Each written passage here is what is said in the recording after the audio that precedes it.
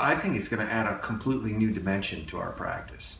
So we've been doing cosmetic dentistry for a long time, but because of the way that we can implement the, the practice management part, uh, it could open up a whole new realm of possibilities for us in terms of doing cosmetic dentistry. And how many times have we heard, you know I'd love to fix my smile doctor, but it's so expensive.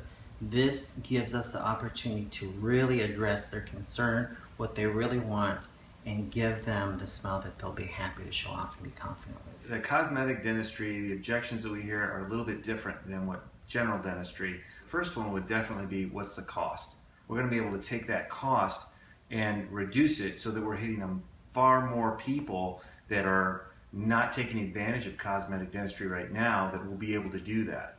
I think also too the uh, something that comes up. You know, doctor, are you going to have to take and file down my good tooth structure just to kind of fix that one tooth? And they want it to look natural too. That's really important. And it was amazing that it didn't take anywhere near as long as what traditional veneers or bonding would have taken. It was very quick, really easy, and uh, obvious that we can take this and make it a real winner in our practice.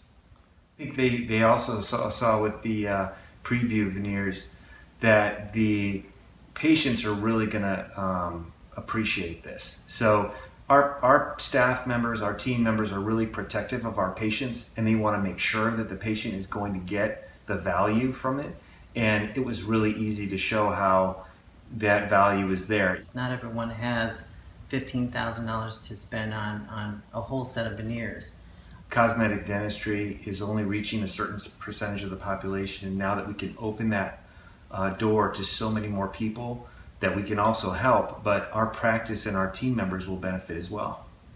This is something that I would I would be happy to recommend to colleagues in other cities. Yeah, I, I feel like we found a little diamond and um, it's just going to get explode. And if you don't jump on this thing right away, man, there is so much opportunity here you're going to miss out on.